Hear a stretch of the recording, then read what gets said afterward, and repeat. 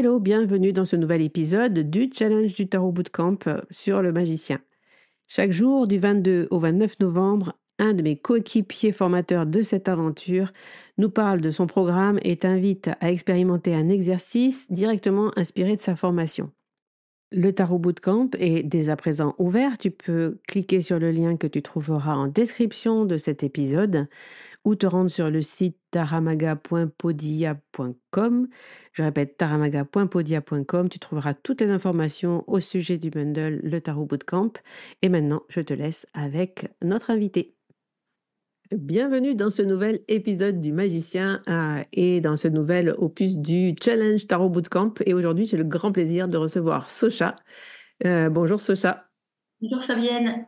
Alors Socha, vous la connaissez, c'est euh, peut-être la troisième fois que tu viens dans le podcast au micro du Magicien. Il y a déjà deux, deux, deux, épisodes, on a fait ensemble deux épisodes.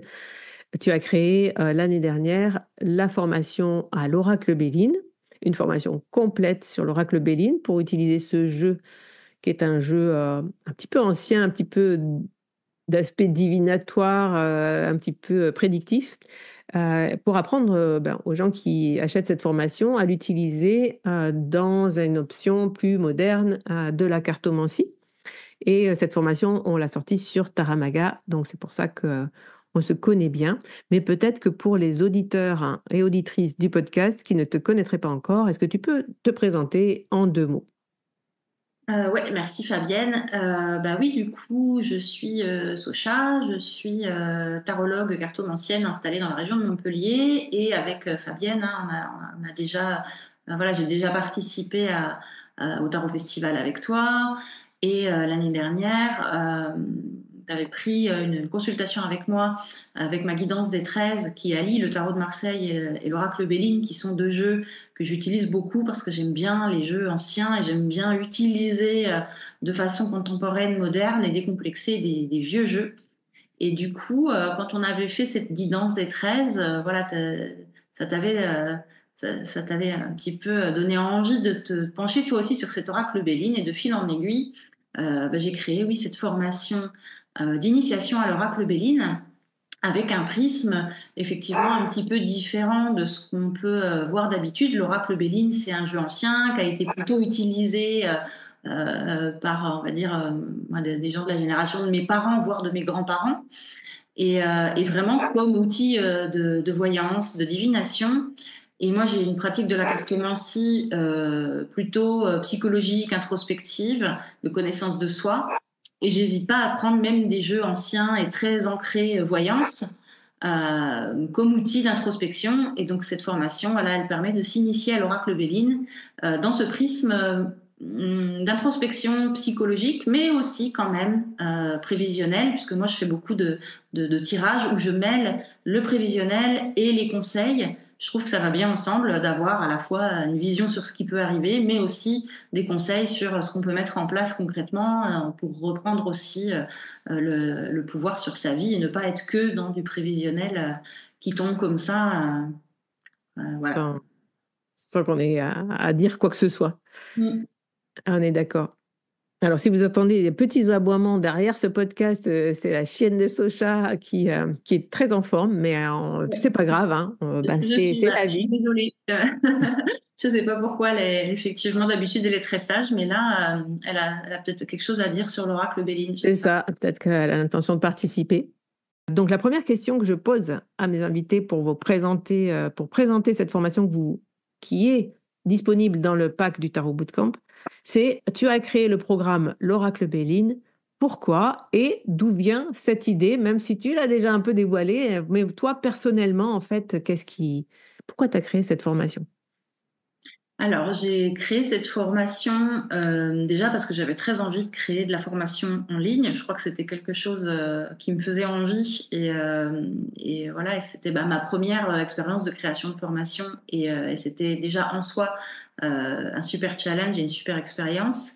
Et puis, c'est vrai qu'en utilisant l'oracle Béline et en en parlant sur les réseaux sociaux, je me suis rendu compte que que les, les, gens le voyaient Alors, parfois comme un jeu moche, souvent comme un jeu purement de voyance, et puis qui faisait peur aussi que euh, comme il a des cartes euh, assez euh, radicales, c'est vrai qu'il a des très belles cartes, très positives, puis aussi des cartes terribles avec des mots qui peuvent paraître effrayants.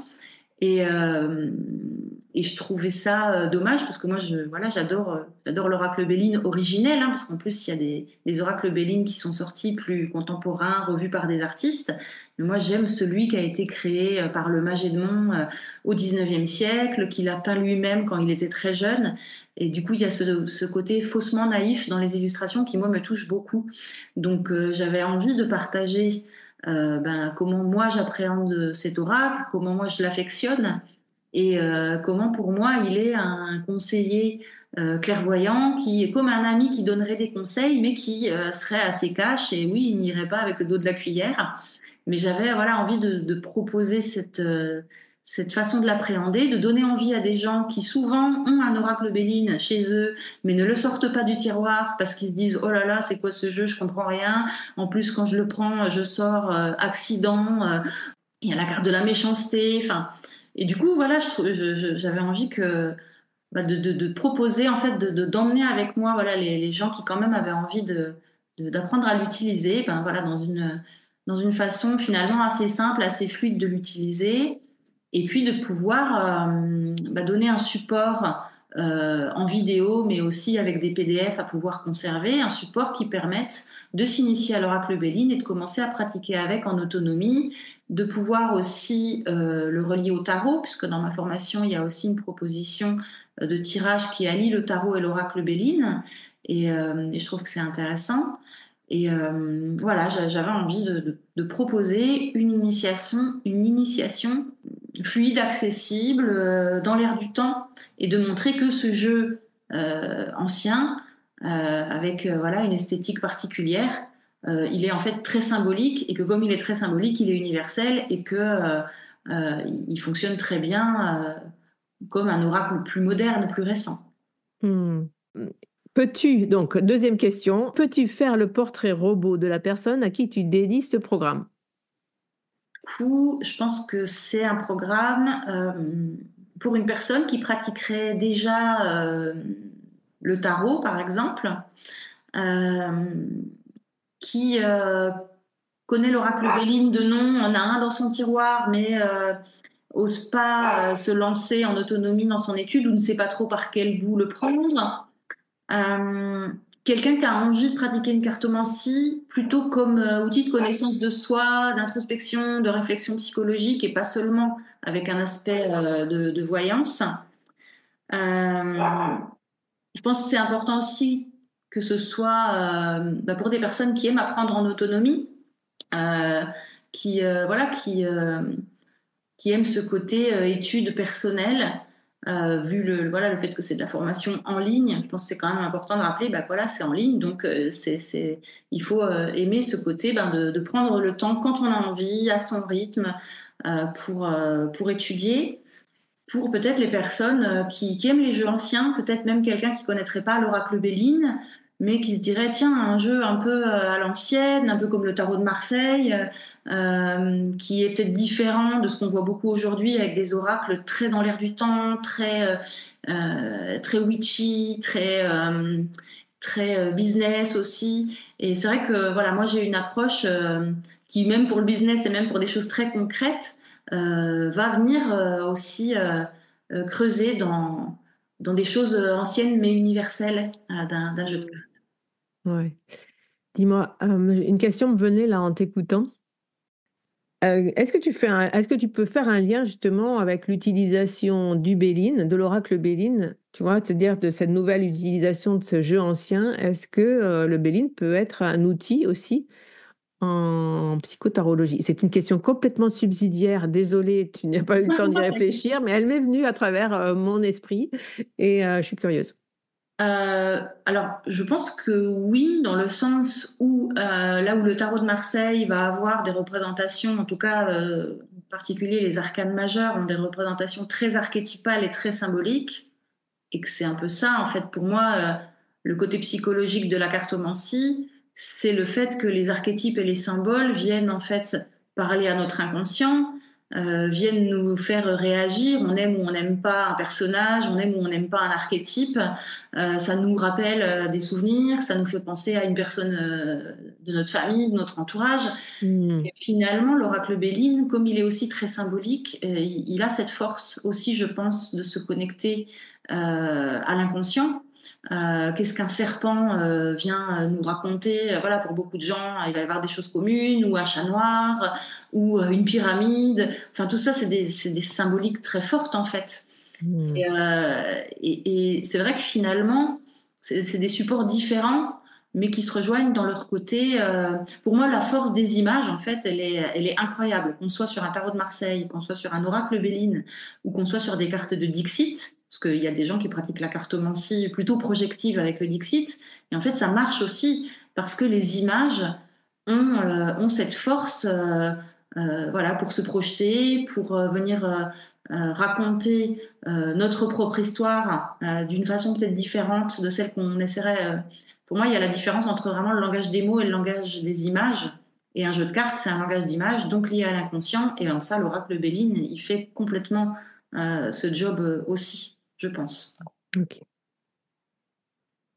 Merci pour ta réponse. J'ai répondu. À... Oui, oui, oui, oui, oui, oui. c'est une question très personnelle, mais euh, oui, je, t'écoutais en parlant, je me dis, bon, c'est vrai que c'est un oracle, il y a des mots dessus euh, qui peuvent être euh, très trash, mais justement, ces mots, par exemple, tu vois, trahison ou ruine ou ça peut parler, ça, veut, ça vient, ça fait peur parce que ça vient parler à notre inconscient collectif de la ruine, c'est, ça fait très peur, on n'a pas envie de la vivre. Mais si on se pose, si on se positionne sur cette, ce questionnement intérieur en prenant la carte comme qu'est-ce que toi, voilà, sur quoi toi elle vient de chercher cette carte-là, réfléchir à ça et pouvoir peut-être, ben, c'est quoi pour toi la notion de, de, ruine euh, sur, voilà, sur quelle ruine de ta vie ça te, fait, euh, ça te ramène Pourquoi Est-ce qu'il y a encore des choses peut-être à comprendre de cet événement mmh. euh, pour y puiser des forces? Mais tu vois, l'idée d'être l'idée de, de, creuser psychologiquement une carte,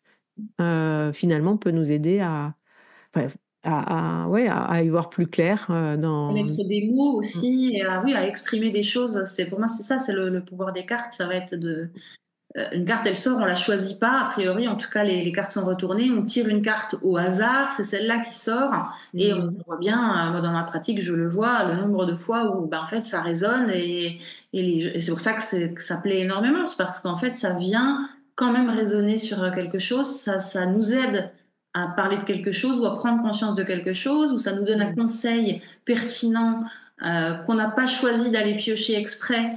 Euh, et il y a tout ce truc, euh, je pense que c'est vraiment le pouvoir des cartes, c'est qu'elles racontent chaque image, raconte quelque chose qu'on traverse dans sa vie, ou une attitude humaine qu'on a ou qu'on n'a pas, qui nous manque ou qu'on a en excès. Je pense par exemple aux personnages de cours du tarot, qui pour moi sont beaucoup sur ça.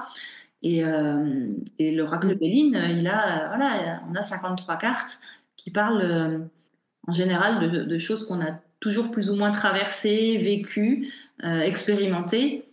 Et, et, du coup, c'est voilà, c'est intéressant. De, elle a toujours une définition un petit peu objective. La ruine, ça va rarement être la joie, la fête. Oui mais on n'a pas tous le même vécu et la même expérience de ce que ça représente pour nous. Quoi. Mmh, mmh. et euh, d'ailleurs, euh, ce que je trouve intéressant dans ta formation, c'est ça, c'est ce regard que tu as sur cet oracle, qui n'est pas juste en disant attention, tu tires amour, c'est l'amour, et tu tires ruine, c'est la ruine. Non, mais c'est en gros, ça peut être très très ça, hein, le Béline.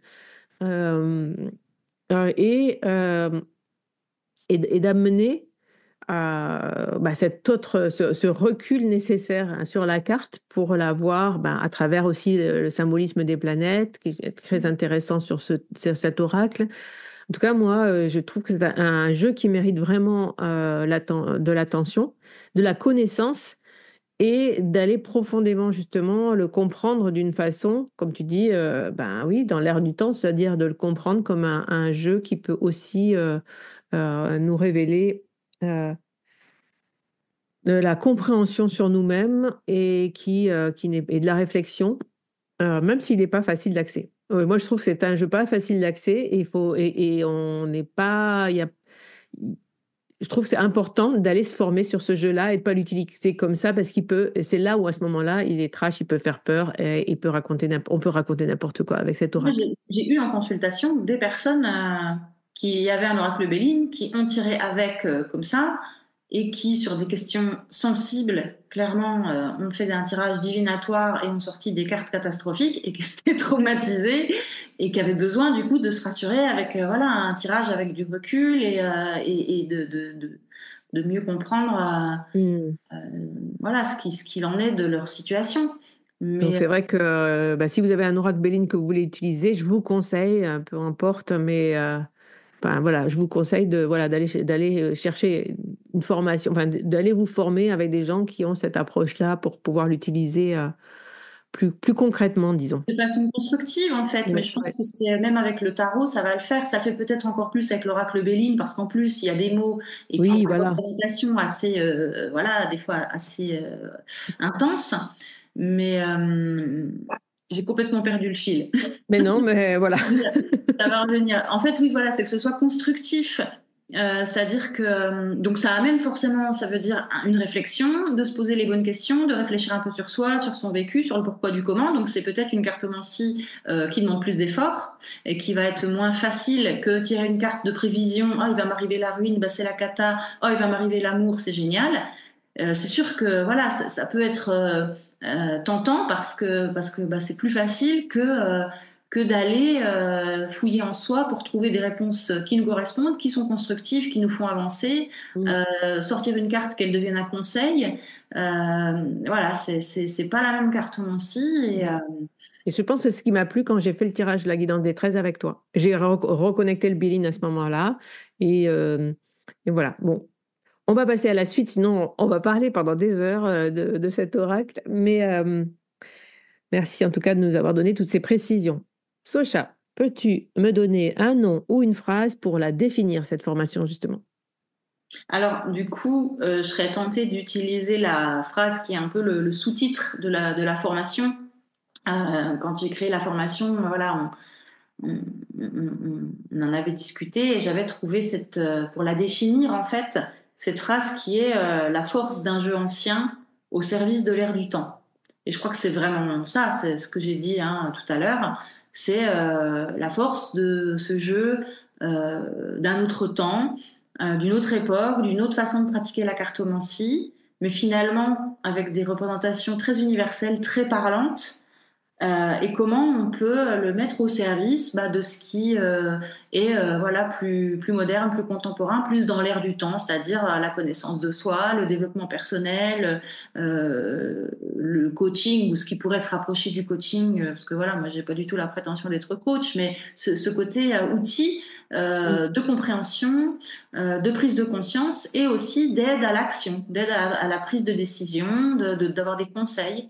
Et je pense que voilà que cette phrase, la force d'un jeu ancien au service de l'ère du temps, c'est vraiment, euh, ça, ça, définit bien la formation, je pense. Oui, je trouve aussi. Euh, avant-dernière question, si ce programme était une lame de tarot. Alors, peut-être euh, pour toi, je peux te demander, est-ce qu'il, s'il est une lame de tarot, euh, laquelle Et après, et si c'était une lame du Béline, tu choisirais laquelle pour le représenter?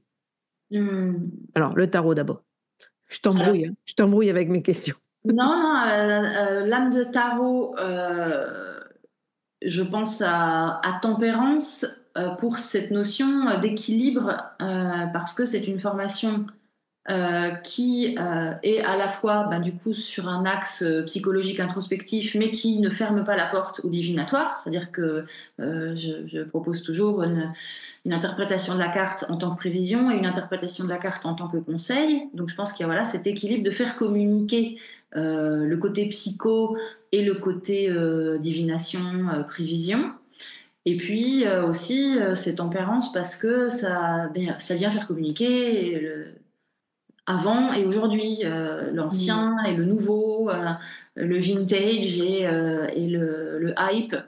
tu vois donc je, trouve que voilà, tempérance. Et puis voilà, c'est une carte qui m'a beaucoup, beaucoup, beaucoup suivi, tempérance. Donc euh, la formation me ressemble, donc la formation, et je pense dans cet équilibre-là, euh, de ne pas, de pas bouder euh, une utilisation plutôt qu'une autre. de trouver un équilibre qui fait que finalement, bah, c'est plus riche. Et puis, et puis de le faire en fluidité aussi, avec une formation, avec beaucoup voilà, de, de, vidéos qui, qui permettent de traverser les cartes avec simplicité et fluidité, un peu comme Tempérance qui arrive bien à, à faire couler l'eau entre, ces deux entre ces deux vases. Mmh. J'adore Tempérance aussi. Et, alors, la carte du Béline je, Comme je l'ai sous les yeux, le Béline, là, j'y passe quand même pour regarder. Euh... Ça pourrait être appui, ça pourrait être appui parce que c'est une formation pour accompagner les gens qui ont envie de s'initier à l'oracle Béline et mm. qui n'ont euh, voilà, pas envie euh, de le faire euh, tout seul ou à pas trop savoir comment prendre ce jeu. Bah, du coup, appui, c'est une carte voilà, qui, qui, qui représente une personne ou une entité qui vient être de bons conseils, une personne d'expérience qui fait qu'on n'est pas tout seul face à face à ce qu'on a envie de, ce qu'on a envie de, faire. Donc ça pourrait mhm. être appui, par exemple. Ok. Euh, ça pourrait être découverte. Aussi. Ah, c'est vrai, en plus, c'est la, c'est la carte que j'ai utilisée, moi, pour faire le visuel. Découverte, voilà, c'est, ça, en fait. C'est découvrir aussi, sous un œil nouveau, peut-être, en plus, mm. euh, cet oracle. Euh, et, et mettre un petit peu le focus dessus et découvrir des choses, découvrir aussi des choses sur soi à travers peut-être la formation. Mhm. On va dire que c'est déjà, c'est déjà bien ces deux-là. Il y a élévation, parce que c'est toujours, je trouve, euh, euh, élévateur d'apprendre des choses. Mais euh, je pense découverte, appui et découverte, ça. C'est chouette. Ça marche. Allez, on aborde la dernière partie de. Euh, je crois qu'on a parlé longtemps. Euh, la dernière partie de ce podcast, de cette, euh, interview. Donc, c'est le challenge, le fameux challenge du, Tarot Bootcamp. C'est un exercice à faire avec, avec le Béline. Du coup, un exercice qui, qui représente bien la formation, avec tout ce que je disais avant, hein, avec ce, ce, côté de venir faire le lien entre le prévisionnel et, le, et le psychologique. Euh, c'est un petit tirage très simple en deux cartes que euh, moi je trouve euh, très bien à faire le dimanche soir ou le lundi matin. alors avec l'oracle Béline dans l'idéal, ça peut être avec un autre jeu si pour l'instant vous n'êtes pas familier du Béline, mais de tirer en fait tous les dimanches soirs ou tous les lundis matins deux cartes, une carte de prévision pour la semaine à venir, donc à interpréter de façon prévisionnelle, divinatoire, et une deuxième carte de conseil, donc à interviewer, à, interpréter euh, comme, euh, comme un conseil euh, que nous donnerait l'oracle, et du coup de faire le lien aussi entre la prévision et, et, le conseil, et puis ça peut être intéressant en fin de semaine de faire aussi le point sur ces deux cartes, de voir si la prévision était juste et de voir si on a réussi à suivre le conseil. Est-ce que le conseil a permis d'arrondir une prévision pas top ou d'encourager une, prévision plutôt positive. Et voilà, ça peut être un exercice, un exercice sympa. Écoute, ce que je te propose, si tu as le Béline sous la main, ce chat, c'est qu'on fasse ce tirage et que je passe cet épisode lundi matin, puisque voilà, le, podcast c'est du vendredi au vendredi, donc euh, ben, comme ça je sortirai cet épisode euh, lundi 25, le jour du sort, de la sortie du, du, du bootcamp, le jour d'ouverture des ventes, et on pourrait faire une prévision et euh, un conseil pour donner l'exemple euh, à nos auditeurs et faire une guidance générale justement pour les auditeurs du podcast. Si tu c'est parti? Eh ben ouais, je mélange. Et puis, si vous aussi qui écoutez l'épisode, puisque c'est un challenge, je vous conseille d'aller chercher votre jeu préféré. Mais si vous avez un Béline, eh ben, peut-être de tester ce tirage avec le Béline. C'est l'occasion. Hein. Euh, avec le podcast d'expérimenter euh, les types, les tirages, les exercices euh, tous les jours. Donc voilà, on est lundi, prenez votre béline, une carte prévision, une carte conseil, et, comme ça, je, voilà, Socha vous montre comment l'interpréter, comment, comment les lier les deux, et puis comme ça, vous pouvez le faire de votre côté. Alors, c'est drôle parce que là, du coup, les deux cartes que j'ai tirées, la première, donc c'est une prévision pour la semaine euh, du 25 novembre. Mhm. Et on a euh, la carte de l'héritage avec euh, la planète Jupiter. Et sur, cette, sur cette carte, on a un parchemin, un sablier et puis un crâne. Et je trouve que pour moi, c'est une carte de transmission en fait. Donc, je trouve mm. que c'est pas mal pour une semaine de, de bootcamp, de pack de formation qui vise à transmettre à donner le temps en fait aux personnes que ça intéresse bah, d'apprendre et de, de, de bénéficier d'une transmission, d'un partage de connaissances.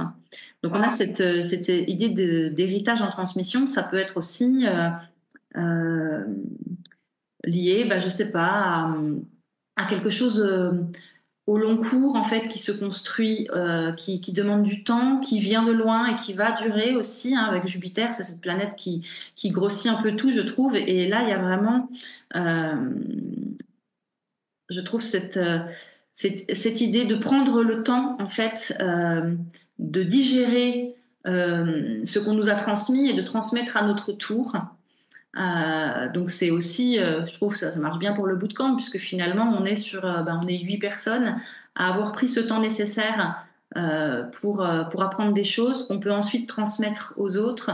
Et mmh. pour moi il y a ça dans l'héritage en fait, c'est ce ce, ce dont on a hérité mais ça, voilà, ça, peut être ce qu'on a appris, ce qu'on nous a transmis. C'est pas forcément, par exemple, dans cette carte-là, on pourrait y voir que le côté, euh, on va toucher les sous d'un héritage parce que euh, papy a cassé sa pipe. Tu vois quelque chose de très. Euh, et je pense qu'au 19e siècle, c'est comme ça qu'on l'interprétait en prévision cette carte.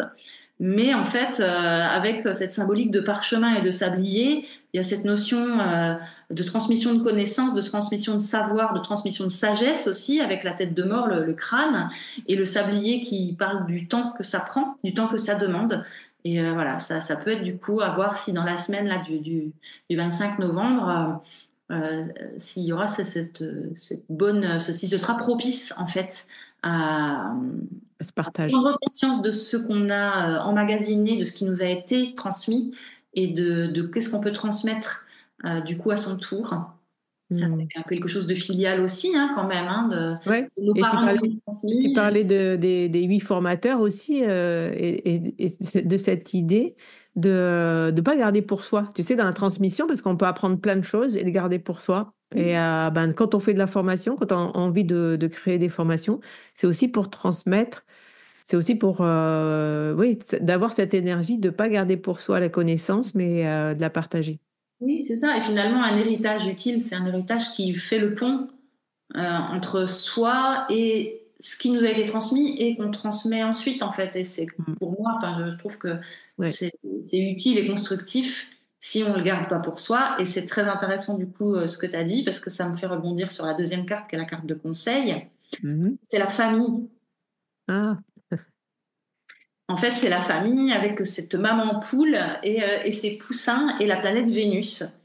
Et euh, du coup, je trouve que c'est le conseil aussi bah, d'être là les uns pour les autres, d'être euh, d'être ensemble dans ce dans ce bootcamp, dans ce projet, de pas de pas être dans chacun pour soi. Et puis aussi, plus généralement, ça va être le conseil de prendre soin, d'être attentif, attentive à ceux qui ont besoin de nous, d'être voilà dans dans un, amour ou une amitié tendre avec les gens, euh, de, voilà, de ne pas en laisser un euh, sur le bord du chemin un peu perdu, de s'assurer que tout le monde suit bien le mouvement, que tout le monde a bien compris ce qu'il fallait faire et où il fallait aller. Et peut-être voilà sur euh, sur Bootcamp, il y aurait aussi voilà ce, ce, ce conseil de, de, prendre soin les uns des autres dans cette dans cette famille aussi cette euh, grande famille de la cartomancie et du monde ésotérique, euh, un petit peu, voilà, de tous ces gens, on, gravite tous ensemble, peut-être de, voilà, de ne pas oublier ou de prendre conscience ou de se souvenir euh, que finalement, on est ensemble avec cette, peut-être cette envie commune de transmettre, de d'apporter quelque chose, de repasser le flambeau de ce qu'on a appris, de ce qui nous a été transmis, de pouvoir ensuite. Elles sont très liées ces cartes, c'est drôle, héritage et famille. ouais même, si on les interprétait de façon un peu plus euh, euh, classique et terre à terre, euh, c'est, elles, fonctionnent bien ensemble, elles sont assez complémentaires. Et voilà, un petit peu à voir du coup après sur la fin de la semaine, si on a suivi ce conseil de la famille, si on n'a pas perdu un, poussin en route. Super. Merci beaucoup, Socha. Bah, écoutez, testez ce tirage, prévision, conseil. Et, et dites-nous dans le commentaire de, cette, de ce podcast qui sera sur YouTube ou sur Instagram, vous pouvez nous mettre en, description si vous avez aimé ce tirage, si vous l'avez si vous si vous l'avez testé, les cartes que vous avez tirées, comment vous l'interprétez. voilà, on, sera là comme des moments poules pour vous répondre, pour vous aider à l'interpréter s'il y a besoin. Et euh, on, est de toute façon à votre disposition toute la semaine pour répondre à vos questions au sujet du bootcamp. Euh, c'est aujourd'hui que sort euh, ben, cet événement. merci. Socha d'y participer avec ta formation qui, je le rappelle, ben, à elle seule fait le tarif du tout le bootcamp. Donc, franchement, si, vous, si vous attendiez une occasion d'acheter la formation au Béline, n'hésitez pas avec ce pack. Ça dure 10 jours jusqu'au 3 décembre, jusqu'à mardi prochain. Euh, et, voilà, on est très heureux hein, de, vous proposer ça tous ensemble, vraiment. ça va être super. Merci à toi, Fabienne. Et, euh, puis, ben, à bientôt, euh, par-ci, par-là, sur les réseaux ou, ailleurs. ouais, on se retrouve bientôt. merci à toi. à vous tous, passez une bonne semaine. Et, et, on se retrouve très vite dans, demain, donc demain matin, avec le nouvel épisode. Au revoir à tous. À bientôt. Un grand merci d'avoir écouté cet épisode. Si tu veux soutenir le magicien, n'hésite pas à laisser un commentaire sur ta plateforme préférée. Parle-en autour de toi pour nous aider à faire grandir la communauté. Et pour toujours plus de contenu inspirant autour du tarot, je te dis à la semaine prochaine dans un nouvel épisode.